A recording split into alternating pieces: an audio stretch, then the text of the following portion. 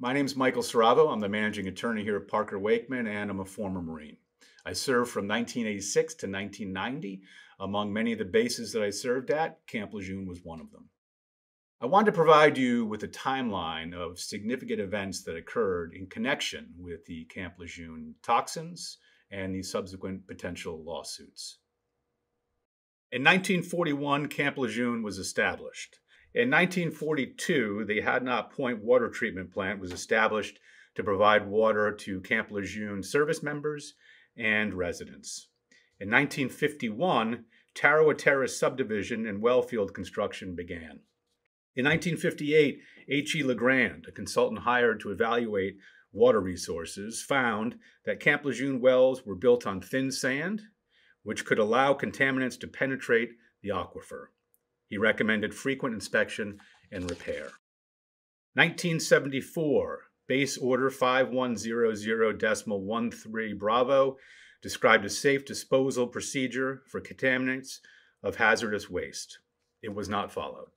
In 1980, the Army Laboratory Services warned that Hadnot Point TTHM samples were highly contaminated. No action was taken.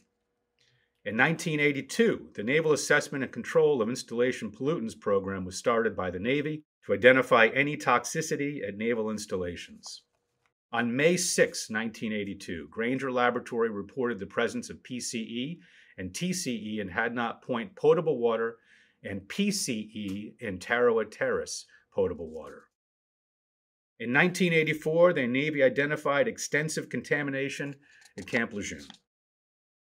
1989, the EPA designated Camp Lejeune and ABC one hour cleaners as Superfund sites.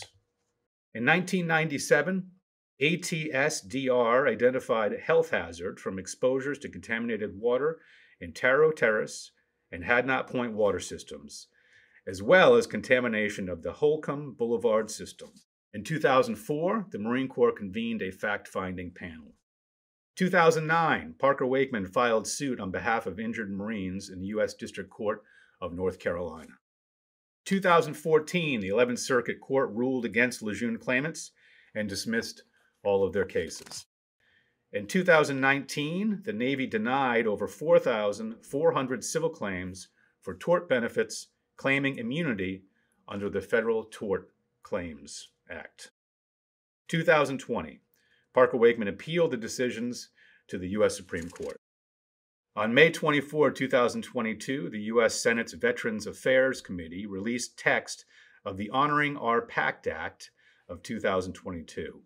The committee's bill closely followed the House bill. And on June 7, 2022, the Senate voted cloture, which meant uh, no more debate on this particular bill. The Senate, however, had several amendments uh, that it wanted to be considered. Uh, Senate voted again with these amendments, approved it, went back to the House. The House voted on the bill and it was passed.